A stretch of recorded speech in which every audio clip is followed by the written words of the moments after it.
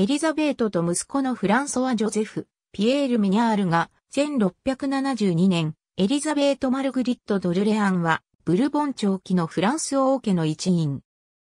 オルレアン公ガストンの娘で、グランドマドモアゼルのイボ妹。アランソン女公。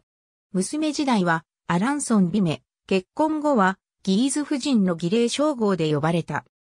オルレアン公と、その2番目の妻で、ロレーヌ公フランソは2世の娘であるマルグリットの間の次女として生まれた。洗礼名はエリザベートだが、本人はイザベルと署名するのを好んだ。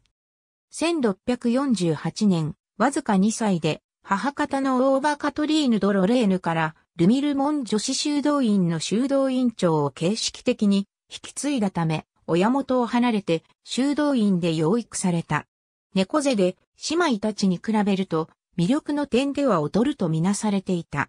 1667年5月15日にサンジェルマン・アンレーでギーズ公、ルイ・ジョゼフと結婚した。ギーズ公はエリザベートより4歳年下で、宮廷儀礼においても王族の彼女より下位に置かれていた。夫妻は間に一人息子のフランソワ・ジョゼフを設けたが、ルイ・ジョゼフは1671年に創生した。ギーズ公爵家の家督を継いだフランソワ・ジョゼフも不慮の事故により4歳半で溶接した。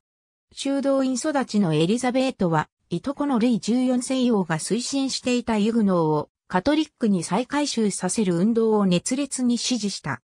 1685年のフォンテーヌブローの勅令が出された後、エリザベートは、資料のアランソン公爵領に新回収者のための施設を開き、領内のユグノーに改修を強要していった。